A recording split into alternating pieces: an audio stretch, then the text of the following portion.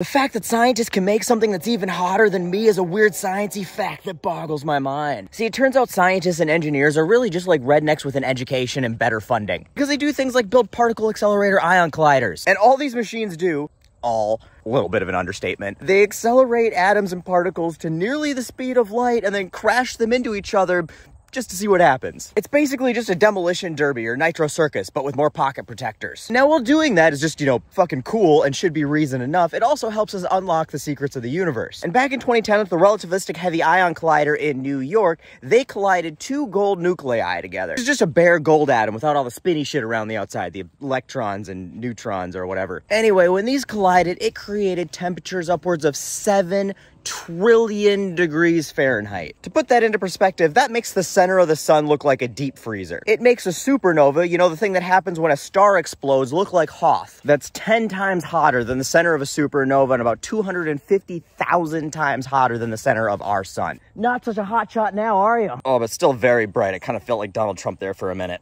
Anyway, our understanding of what happens when things heat up kind of falls apart at those temperatures. See, as things heat up, they go from solid to liquid to gas. We know this. Water goes from ice to water to steam. But once you start to get stuff really hot, like if you heat steam up even more, it starts to fall apart. Particles will split into their individual atoms, and then you get it even hotter, and then their electrons fall off, and that's how you get bare nuclei. And then apparently, if you continue to heat it up to these ridiculous fucking temperatures that haven't existed since microseconds after the Big Bang, you get superfluids, which until now I always thought was, was whiskey. It's not. Anyway, a superfluid is a fluid that defies the laws of physics in the way that I understand them. Basically, it's a fluid with no viscosity, so you can like stir it and it would just spin forever. Fuck friction, I guess. And these superfluids are called quark gluon plasmas, which I'm pretty sure is a name that came directly out of Star Trek fan fiction. Just does not sound very scientific to me. But then again, I am much closer to redneck than I am, you know, scientist or engineer. But like I said, scientists and engineers are just rednecks with better degrees, funding, and hygiene, and as a result, they are competitive. And if you thought the Europeans were gonna allow our hot and steamy 7.2 trillion degree record to stand, I mean, after all, they've got topless women on billboards, Amsterdam, and French accents. We have morbid obesity, abortion bans, and Marjorie Taylor Greene. They're just hotter than we are. And they set out to prove it at the Large Hadron Collider that lies below the border of France and Switzerland. There, they crashed a couple lead nuclei into each other, and the resulting reaction was nearly